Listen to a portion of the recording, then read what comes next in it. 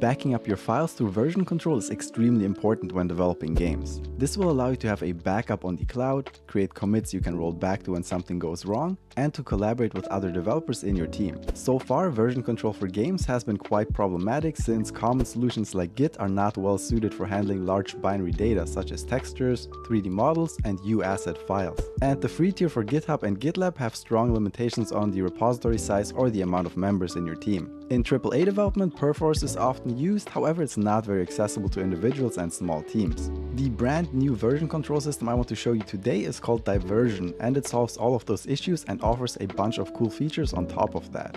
The free tier gives you a generous 100 gigabytes of included storage, up to 10 team members and 10 repositories. Some of the developers on the Diversion team are actually viewers of my channel and invited me to the early beta version a couple of months ago. Even back then I already felt like Diversion was superior to the other options and liked it so much I offered to create this tutorial. And they were nice enough to sponsor this video so this tutorial is brought to you by Diversion. You can check out their version control system from the link in the description and make use of the generous free tier. There you can also find a link to their Discord where they can help you if you run into any problems using Diversion. Now let's get into an actual example of how easy it is to set this up for version control. This will work similarly regardless of if you're using Unity, Godot or Unreal Engine, but I'll use Unreal for demonstration. First we go to diversion.dev and click on get started. Here we can simply use a Google account to log in or create a new account with an email address.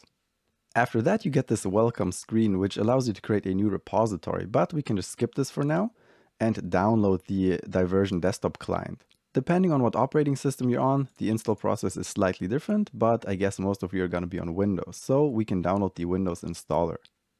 Once it's downloaded, we can just double click the executable file. Click on Next, read through the license agreement, and click on Agree. Decide if you want to have it in the start menu or not, and then click on Install. This will install their command line interface and their desktop app as well. After the installation is finished, the desktop client will open up and you'll have to log in again with your credentials. Now we want to create a new repository, and if you're new to version control, a repository is basically just our tracked folder with our entire history. Click here on new repository on the right, and we have two options available. We can just create a new repository in a new folder, can just put in a name and select where we want to save it. But I believe create from an existing folder is actually more streamlined when it comes to making games. We can create a new project in Unity, Unreal or Godot and then just put Diversion into that existing folder. To do that, I'll just create a new third-person project from Unreal Engine to use for the demonstration. And I'm just going to call Diversion Test and create.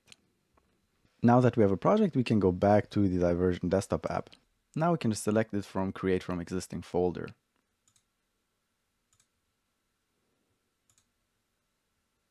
And wait for it to initialize the repository you can see that it is currently syncing and it is already uploading the files to the cloud.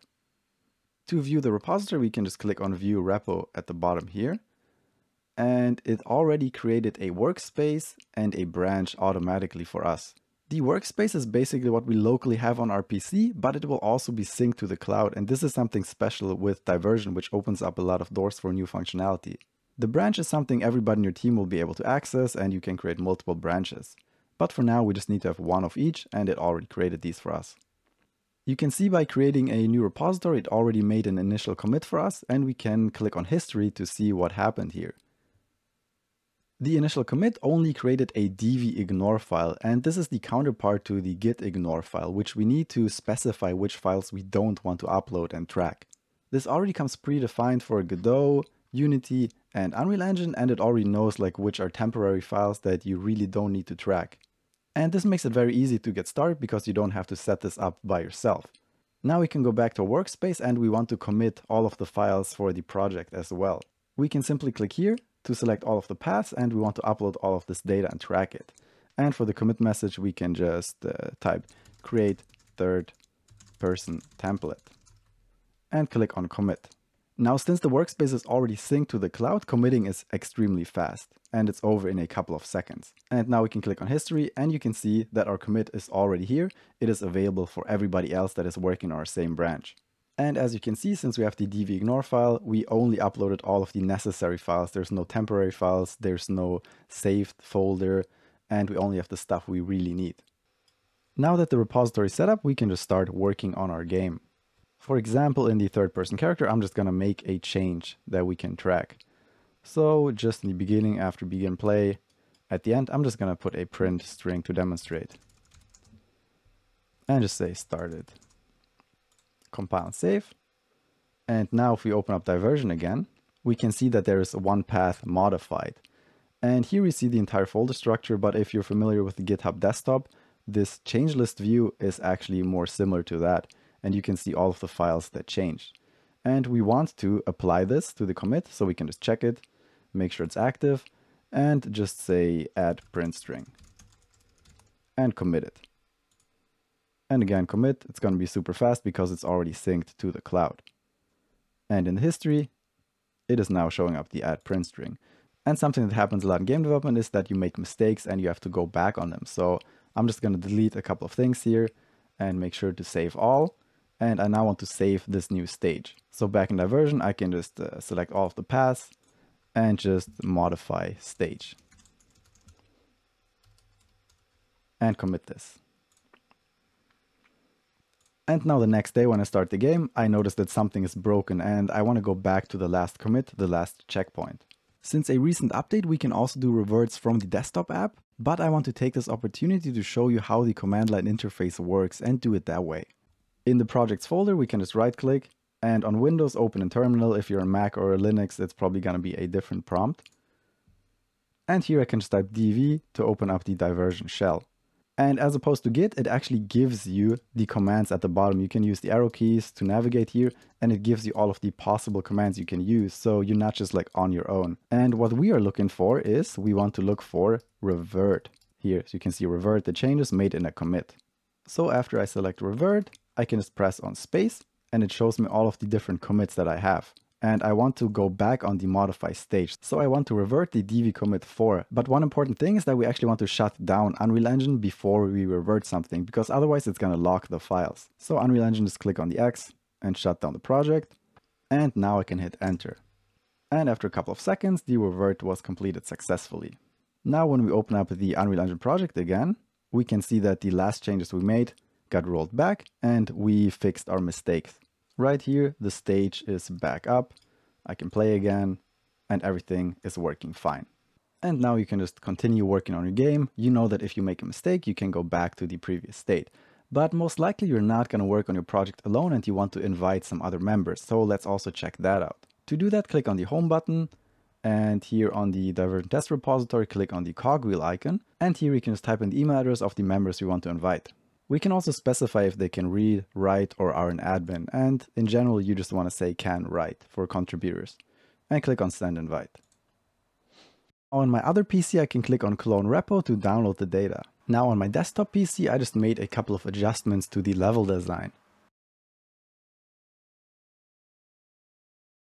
And back on my laptop it automatically downloaded this change without me having to click on pull like you have to do in GitHub desktop.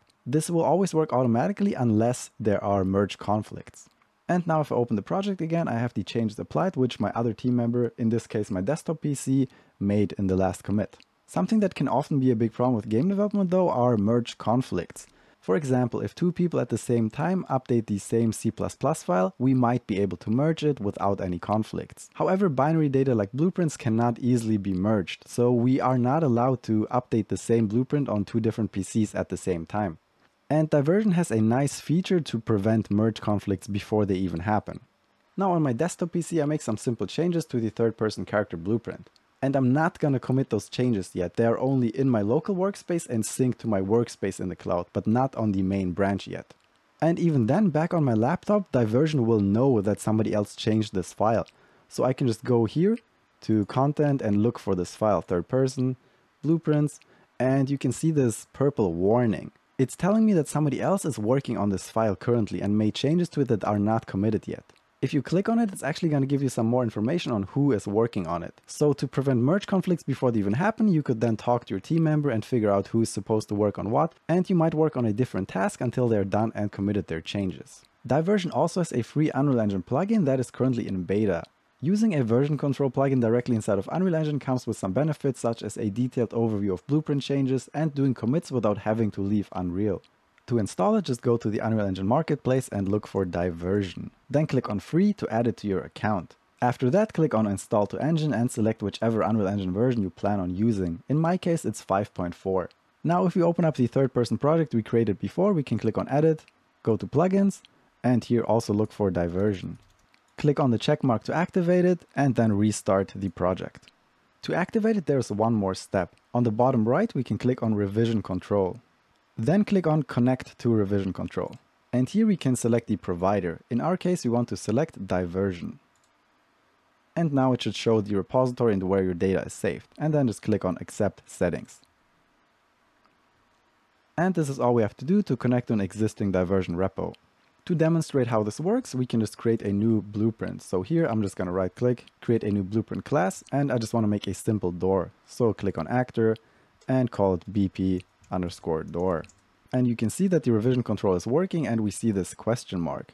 And the question mark is because now this actor only exists in memory but not on the hard drive yet, so diversion doesn't know about it yet. Once we save all though, you can see that it is now updated and it is scheduled for addition. To create a commit, we can just click on revision control and submit content. And this is exactly the same thing we did before in the desktop app. And again, we want to give it a simple description, just create door blueprint and submit. And this way you can save your changes without having to leave Unreal Engine. Back in the desktop app, you can confirm that this commit worked out correctly. To show the blueprint changes, let's update the door even more. So we can open up the door by double clicking and I want to add a cube in here. Add a cube and I want to scale it up. So I can just go to the z-axis and scale it up to make it look more like a door. And I also want to add some blueprint changes. So go to the event graph and on begin play, let's just add a print string, something very simple, and just say door is active.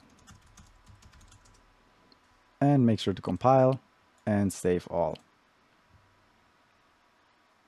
In the content drawer, you can now see that there is a check mark that tells us the item has been modified. So this is not a new item, it is an item that already existed in the version control and we modified it. We can now go to revision control and again, click on submit content and we can double click the door to get some more information on what changed since the last commit. This window shows us the difference between the blueprint the way it was before and the way it is now. So we can actually play through these steps. And you can see that we added the variable cube. You can see that we created the cube. You can see that we created the print string. And this way you can just look through your blueprints and make sure that you didn't unnecessarily add anything and you didn't make any mistakes before you actually committed to version control. Everything looks fine here though, so again, I can just update door and submit this. One more cool feature of Diversion I want to talk about for a second is the ability to import Git repositories. You can choose between only importing the latest commit or you can also import all branches with the history and this allows you to enable continuous bidirectional syncing. So if you just want to give Diversion a try but aren't quite ready to make the switch yet, you can just import a Git repository and if you make changes in Diversion, it's also going to be affected on Git. If you make changes in Git, it's also going to be affected on Diversion. So you can try it out first without any commitment. And that's it for this tutorial. As always, huge thanks to my patrons. thank you